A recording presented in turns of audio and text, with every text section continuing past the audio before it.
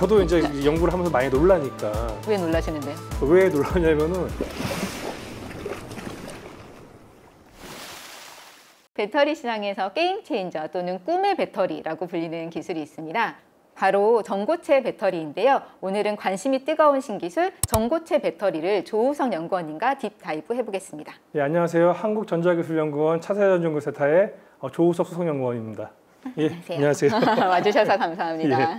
먼저 전고체 배터리 특성에 대해서 좀 여쭤볼게요. 이게 전고체가 그러니까 전부 고체다 뭐 이런 뜻인 건데 지금 우리가 전기차에 보통 들어가는 리튬 이온 전지 와는 좀 어떻게 다른지부터 설명해 주시죠. 1800년도에 그 이탈리아의 알렉산드로 볼타가 전지라는 걸 처음 만들었죠. 그 이후로 지금까지 2차 전지, 리튬 2차 전지까지 발전을 했는데 모든 전지는 양극이랑 음극이라고 하는 고체 상태의 물질이 있고 그 가운데 이제 전해액이라고 하는 액체가 있습니다. 이온이 이제 왔다 갔다 하면서 이제 전자가 나오면서 에너지를 낼 수 있는 시스템인데 전고체 전지는 기본적으로 이제 리튬 2차전지랑 똑같은 시스템으로 가지만 전해액과 분리막을 제외를 시키고 그 부분을 이온을 전도할 수 있는 고체 상태의 물질, 즉 우리가 흔히 고체 전해질이라고 얘기하는 물질을 대체해서 쓰기 때문에 전고체 전지는 모든 이온에 이동하는 반응이 고체 상태에서만 일어나요. 그래서 이제 전고체다 해서 전고체 전지라고 부르고 있습니다. 음, 예. 특히 주목을 하는 이유 중에 하나가 안전성이 되게 높다. 얼마 전에도 뭐 전기차 네, 화재 예. 나서 폭발하고 예. 이런 뉴스 계속 나오는데 전고체 전지를 만약에 이용하면 화재가 거의 안 나나요? 화재 위험이 거의 없다고 아, 볼수 그러니까 있나요? 기존에 이제 리튬 차전지 같은 경우에는 사고가 난다거나 이럴 때 갑자기 이제 불이 날 수가 있는데 불이 나는 이유는 그 안에 이제 전해 액이라고 하는 물질을 쓰는데 얘네들이 유기 물질이에요. 화재가 나고 그런 가능성이 상당히 높은 거죠. 불이 나면 뭐 되게 전기차는 불 끄기가 어렵다 하는 것도 양극 소재나 인극 소재나 이런 데서 계속 산소를 공급을 하기 때문에 아. 얘네들이 계속 같이 타면서 이제 불이 나기 때문에 상당히 아. 끄기 어려운 문제가 있는 거죠. 예, 예, 예. 거기에 비해서 이제 전고체 전지는 불에 붙는 물질이 아니에요. 음. 구조내를 봤을 때 모든 소재가 안정적이기 때문에 화재 위험성이 없다라고 이제 흔히 얘기하고 있습니다. 아, 근데 또 이게 그냥 안전성만 높은 게 아니라 에너지 밀도가 높다 뭐 이런 식으로 설명을 하더라고요. 그거는 왜 그런가요? 전고 체 전지는 이제 기존의 리튬 전지에서 하지 못했던 걸 할 수 있는 가능성이 있어요. 그래서 이제 에너지 밀도를 올릴 수 있다고 하는 건데 첫 번째는 뭐냐면은 보통 이제 양극을 만들 때 리튬 전지는 양극의 두께가 어느 정도 한정이 됩니다. 두껍게 못 만들어요. 왜 못 만드냐면 두껍게 만들수록 그 내부로 이제 전해액이 액체 상태의 전해액이 잘 침 투를 못 해요. 그러니까 우리가 원하는 성능이 나올 수가 없어요. 근데 전고체 전지는 모든 게 이제 고체로 되어 있기 때문에 양극에도 사전에 고체 전해들이 섞여서 들어가야 돼요. 사전에 우리가 이제 패스를 만들어줘요. 이온이 움직일 수 있는 path를 만들어줘야 되고 그러다 보니까 전극을 두껍게 만든다고 하더라도 깊이 방향으로도 충분히 이제 이온을 전달시킬 수가 있기 때문에 그래서 이제 저희가 같은 면적에 요만큼 전극을 올리는 거랑 이거에 한 두 배를 올리- 올리는 걸 따졌을 때 면적당 용량을 저희가 또 많이 실을 수가 있잖아요. 예.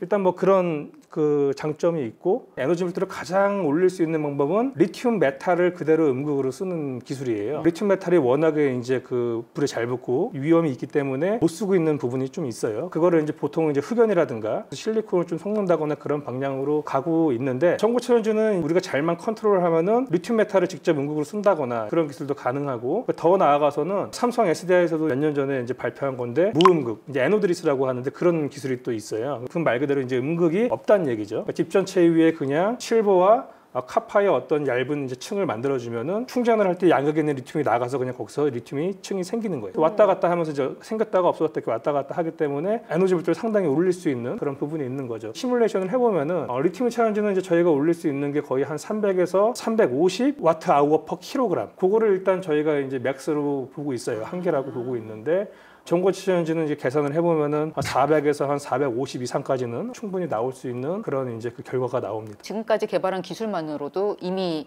앞서고 있군요, 훨씬. 그러니까 셀 기술은 완성은 되지 음. 않았어요. 지금 열심히 이제 하고 있는데 제가 지금 만드는 양극이 리튬 2차전지 한 두 배 정도가 나와요. 8mA per 센티미터 제곱까지 아, 거의 한두두배 배. 정도 오. 수준까지. 리튬 2차전지에서는 구현할 수 없는 숫자라고 보시면 될 것 같습니다. 근데 없는 게 아니잖아요. 전고체 배터리 실제로 쓰고 있다고 하더라고요. 그러니까는 그냥 일본 업체 무라타 예, 제작소 이런 무라타나 데서는 뭐, 예, 예. 예, 웨어러블 기기 예. 이런 데 들어간다는데 어떤 식으로 지금은 쓰이고 있나요? 어, 일단 먼저 말씀드린 무라타에서 사용하고 있는 거는 작은 음, 마이크로칩 형태의 전지를 만들어요. 얘는 이제 용도가 보청기라든가 작은 부품에 들어가는 쓸 수 있는 게 아직 한정이 돼요. 왜냐하면 사이즈가 작으니까 에너지를 많이 넣을 수가 네, 없거든요. 네. 예. 전고체 전지도 그 종류가 되게 많아요. 대표적으로 이제 알려 있는 게 이제 산화물계, 그 다음에 황화물계. 근데 무라타나 여기서 쓰는 거칩 형태를 만들 수 있는 거는 이제 산화물계예요. 토요타라든가 아니면 국내 업체들이 전기차 시장이나 이런 거를 목표로 이제 대용량으로 만들려고 하는 전고체 전지에 들어가는 거는 다 황화물 고체 전해질을 사용하고 있어요. 황화물 고체 전해질은 전도도가 상당히 높고 현재 리튬 전지를 사용하는 전액보다도 더 우수한 성능이 나오고 있고 그래서 리튬 이온을 잘 통할 수 있게 해주기 때문에 아무래도 높은 용량을 내고 고출력을 내기 위해서는 황화물계 고체 전해질을 사용한 시스템으로 가고 있다고 볼 수 있습니다. 이제 전기차용 지금 얘기하신 예. 황화물계 예. 어, 전고체 배터리 얘기를 좀 나눠보겠습니다. 전고체 배터리가 뭐 예전부터 엄청 뭐 이거는 되면은 대박이다 꿈의 배터리다 뭐 하고서 예. 얘기는 됐지만 최근 들어서 더 관심을 가지는 게 도요타가 발표를 했고 또 예. 삼성 SDI 예. 그러니까 우리나라와 일본에서 제일 앞서가는 기업들이 예. 다 2027년에 전고체 배터리를 양산을 하겠다라고 발표를 해가지고 와 이게 그래도 되긴 되는구나 하는 뭔가 느낌을 주더라고요. 예. 근데 또 일부에서는 아유 2027년 그거 안 되고 2030년이 돼도 양산 안 될 거 이렇게 얘기하는 음. 사람들도 있어요. 근데 이제 그걸 연구하시는 분이니까 이게 뭐 2027년이면은 그래도 될 수 있을지 없을지 좀 감이 있으실 것 같아서 예. 박사님의 어. 의견을 여쭙니다. 토요타 같은 경우에는 거의 이제 전고체 전지의 선구자라고 보시면 될 것 같고 2000년대 초반부터 연구를 했어요. 제 기억으로는 2020년 원래 이제 도쿄 올림픽 때 어, 전고체 전지를 넣은 그 전기차를 시연을 하는 게 돼 있었어요.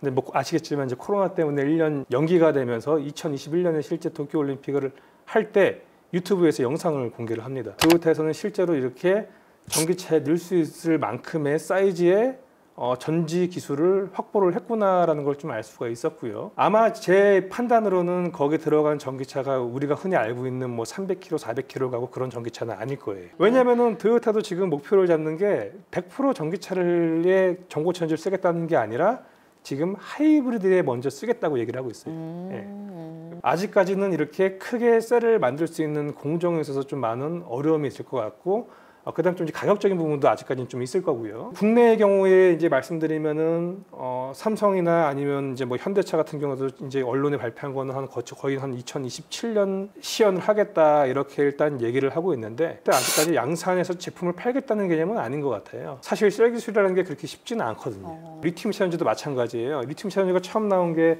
1992년인가 그때 이제 소니에서 이제 처음 만들었었거든요. 음. 무슨 카메라에 들어가고 핸드폰에 좀 들어갈 수 있고 점점 이제 그 사이즈가 이제 커져가서 지금은 우리가 상상도 못하게 그걸 저- 지금 자동차에 집어넣어서 막 400km를 가고 어, 사실 그 들어가는 물질의 케미스트리라든가 이런 거는 그 많은 발전은 있었지만 그닥 이제 크게 발전은 없어요. 아. 가장 크게 올라갔던 건 제가 볼 때는 셀 기술에 있어서의 상당히 진보적으로 이제 그 네. 치고 나간 부분이 있고 우리나라가 그 전지 시장에서 일본을 제껴서 치고 나갈 수 있었던 거는 제가 봤을 때는 셀 설계 기술이나 제조 기술에 있어서 상당히 어, 노하우를 갖고 갔다라고 이제 판단을 하고 있어요. 음. 어, 그것처럼 어, 제가 볼 때 만약 2027년에 전고체 전지가 나온다면은 핸드폰 사이즈 정도 아하. 양산할 수 있는 거는 아. 리튬 이차 전지가 거의 한 30년을 해서 기술이 발전했던 것처럼 전고체도 얘를 아, 가격도 내리면서 사이즈를 점점 키워서 아마 한 2040년 좀 이전 사- 되지 않을까 싶어요 제가 볼 때는 아, 그야말로 2000 전고체 전지 100%인 전기차가 나오려면 비싸게는 팔 수 있죠.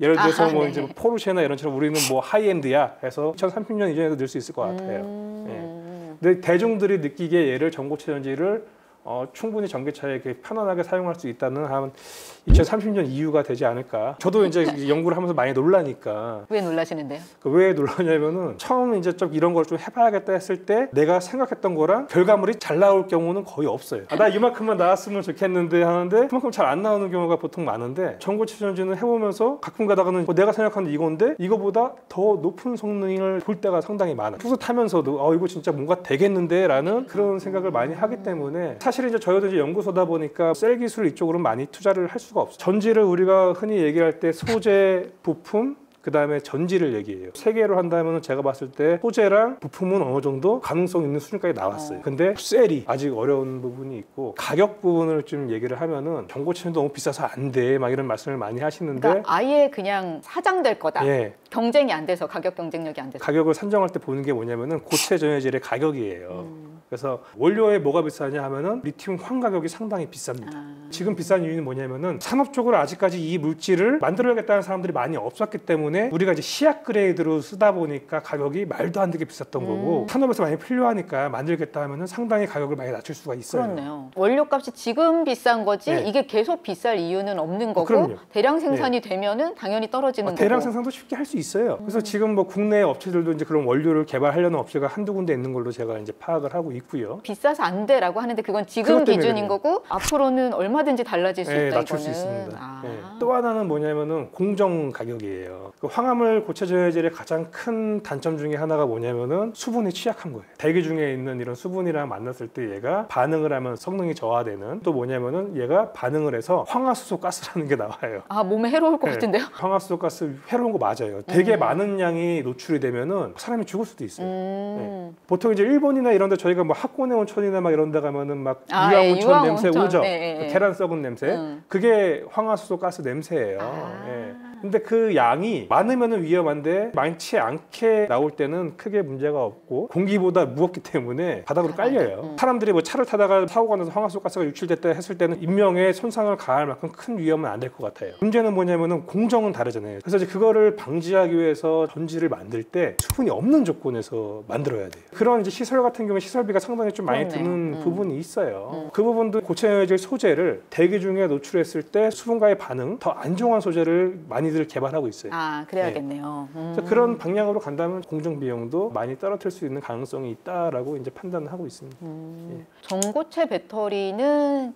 UAM 그러니까는 그 드론 택시 하늘을 나는 자동차 에는 쓰일 거다 이런 식으로 얘기하시는 분들도 있더라고요. 전고 체 전지가 처음 상용화 된다면 그런 부분이에요. 항공에 들어가는 비행기에도 전지가 들어가는 경우가 있잖아요. 뭐 그런 경우라든가 아니면은 선박 아니면 잠수함 어떻게 보면 좀 군용에 좀 많이 들어가죠. 안전성이 가장 중요한. 음, 전쟁이 벌어지는 네. 상황에서 이게 폭발해 버리면은 네. 군용은 가격 안 따지니까. 아, 그러면 다음으로 한국산 전고체 배터리의 가능성에 대해서 좀 여쭤볼게요. 전고체 배터리 하면은 역시 기술의 원조랄까? 그거는 일본이고 일본이 제일 앞서가는 건데 한국도 그래도 뒤늦게 열심히 투자해가지고서는 쫓아가고 있잖아요. 기술력의 수준이 또 어느 정도인지 한국 기업이 이 시장에서 일본과 그래도 어느 정도 경쟁할 만한 수준이 될 거라고 보시는지 아니면은 그래도 좀 많이 뒤처질 것 같은데 이렇게 보시는지. 전고체 전지 안에서 이제 소재, 뭐 고체 전해질만 얘기하고 봤을 때는 아직까지 일본 업체들이 훨씬 월등하게 앞서 있어요. 오. 국내에도 지금 몇 군데 기업들이 고체 전해질을 하려고 하고 있어요. 그래서 이제 기업 이름 얘기해 주시면 더 감사합니다.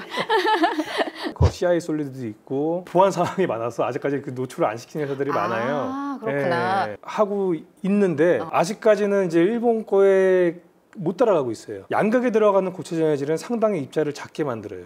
근데 그렇게 작게 만드는 기술이 아직까지는 우리 쪽에서는 좀 음. 많은 어려움을 이- 갖고 있는 거로 알고 있고 양극 소재나 이런 것도 마찬가지예요. 기존에 이제 리튬 차전지에서 쓰던 거를 그대로 전고체 전지에서 쓰려고는 하고 있는데 전고체 전지라는 그 시스템을 좀 이해한 상태에서 양극을 좀 더 이렇게 튜닝을 한다거나 아, 그런 쪽을 해야 되는데 아마도 이제 그런 연구가 아직까지는 어, 좀 더 부족하지 않냐 이렇게 생각을 하고 전지 입장에서 이제 가장 궁금하실 것 같은데 세계 넘버 원은 토요타예요. 토요타가 셀을 어떻게 만드는지는 저도 잘 몰라요. 아, 그렇겠죠. 공개 안 하겠죠. 예. 국내에는 이제 뭐 삼성 SDI 그다음에 뭐 현대차가 열심히 하겠다고 했고 뭐 LG 에너지 솔루션도 어 열심히 하고 있어요. 가장 주목할 만한 기술을 냈던 거는 전고체 전지의 에너지 밀도를 올릴 수 있는 방안 중에 하나가 그 에노드리스라는 음극을 사용한다고 말씀드렸잖아요.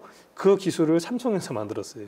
아, 예. 일본에서 만든 게 아니라 삼성. 아 근데 그거는 이제 그 삼성 이제 일본 연구소가 있어요. 그 어느 정도 기술을 incubating을 한 다음에 그게 이제 국내로 넘어와서 이제 하고 있는 기술인데 아마도 삼성은 그거를 사용을 해서 전고체 전지를 만들 거라고 저는 이제 예측을 해요. 어, 그런 그런 측면에서 봤을 때는 삼성이 가지고 있는 전고체 전지 기술도 상당히 뛰어나다 이렇게 저는 보고 있고 어, 마찬가지로 현대차도 어느 정도까지 이제 공, 공개된 거는 없지만 거기에 못지않게 좀 할 거다라고 저는 이제 예측을 하고 독일 같은 경우에는 어, 전통적으로 이제 고체 화학에 되게 강한 나라예요. 그러다 보니까 기존의 리튬 차전지에 대해서는 독일이 뭐 기술을 가진 게 없지만 어, 전고체 전지는 자기들이 정말 열심히 하려고 해요. 독일은 또 전통적으로 자동차 강국이잖아요. 뭐 벤츠라든가 아니면 BMW. 어, 그래서 이런 쪽에서도 상당히 열심히 하려고 하고 또 그 소재 업체들도 독일에 있는 뭐 바스프라든가 이런 업체들도 아마 그 전고체에 관련된 소재를 많이 개발하려고 아, 하는 걸로 알고 있습니다.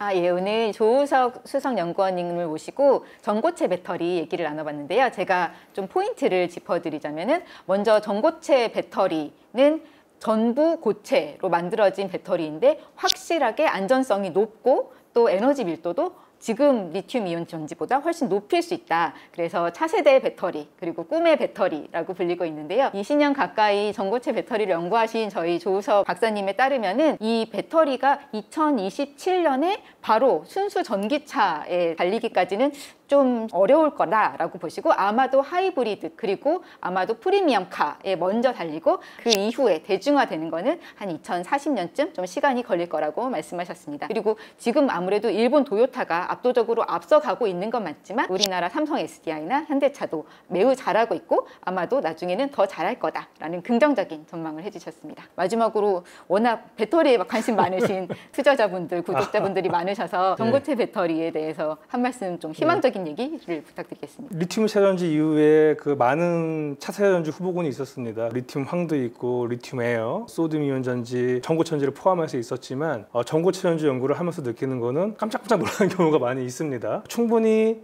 어, 상용화가 될 수 있는 기술이라고 저는 이제 판단하고 있고 늦게는 시작했지만 어, 국내에서 상당히 어, 열심히 연구하고 있고 받쳐줄 수 있는 정부와 그 다음에 기업들이 있다라는 것이 상당히 긍정적이라고 저는 보고 있고요. 조만간에 제품은 만날 수 있다 이렇게 말씀드리겠습니다. 예. 구독, 좋아요, 알림 설정 부탁드립니다. 딥다 이브.